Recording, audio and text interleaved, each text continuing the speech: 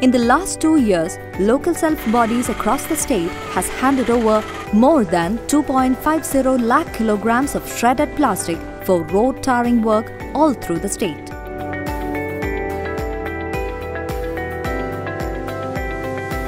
The state has been stringently implementing laws to prevent environmental degradation and plastic being the biggest menace, the state is now enforcing ban on all types and forms of plastic below 50 microns.